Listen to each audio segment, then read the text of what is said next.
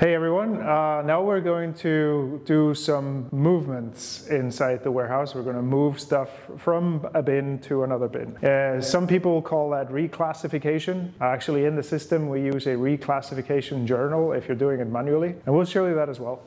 Uh, but basically, it's fairly simple.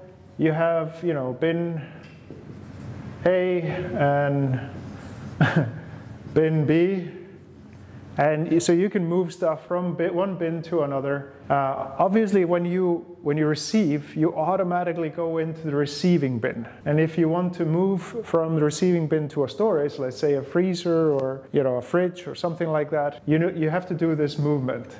Um, and like I said, some people call it reclass um, actually, in, in the system, the journal is called Reclass. We call it Move in the app. Um, and you can move things around. You can actually set up bins to not allow outbound movement, only inbound movement, or vice versa. So there's all kinds of setups. I'm not going to get into that in detail when I show the, uh, the actual application. And we will actually move also into a production in um, bin so we can do the next part which has to do with production. So let's take a look at the system. Let's keep going. Uh, now we're going to move the product from the receiving bin to a storage bin. So let's go into bin contents first and just uh, remind ourselves where we're at. So in my receiving bin I have item 1105 which is the lamb shank. I got 2,000 pounds right now of that and what I want to do is just move that into one of the uh, the storage bins. We can just put it into uh, the freezer. So freezer one, uh, level two. I think this might be shelf one. Uh, so let's put it in here and, and see it pop in. We can just put all the 2000. Actually, let's put 1000 using item reclassification journal and the other 1000 using uh, the app. So we're gonna do this in two ways. First, the manual way. So the item reclassification journals are used to basically move things around in the system or change change the properties of those. And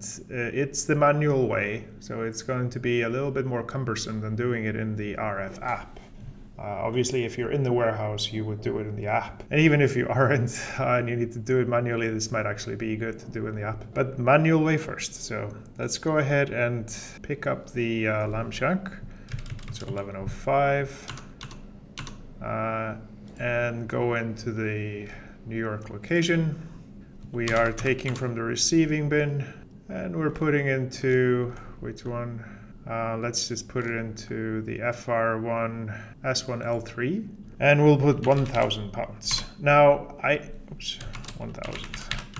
I need to specify the lot number, of course, because uh, everything is lot tracked. We're a food uh, company uh, or food platform, so traceability is very important. So here I need to actually go into the tracking lines then and pick the lot number that I want. Um, and I have the lot number here, 11, and that's perfect. So now we just close that out and I go ahead and post this. So let's go ahead and post. Now that's posted. And if I go into my bin contents to just see what happened, now I have a thousand left in the receiving bin and I got 1000 in the uh, freezer, the S1L3.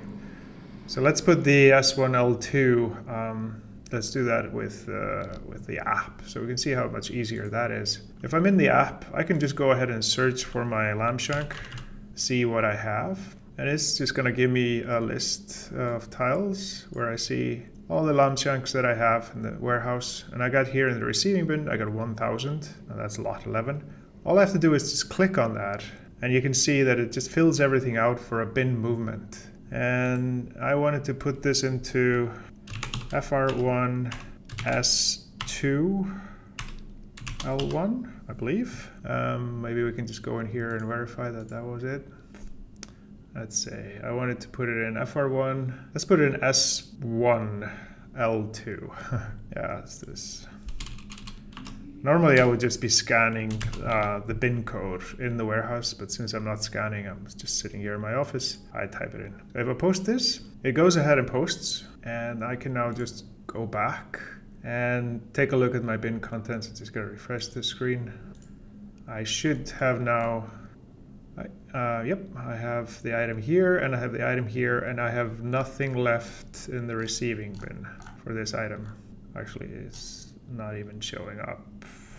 And uh, if I go into the app, I want to verify that lamb shank is there. I can just go into search, just take uh, take a look at that. So I have FR1 S1 L1, which is the one I did manually, and then I have FR1 S1 L2, which is one I did through the app, and I actually do have from previous as FR1 S1 L3.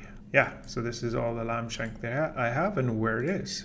So do it both ways. Um, obviously, the app is the way to go if you're in the warehouse uh, just scanning around, but you can do it manually as well.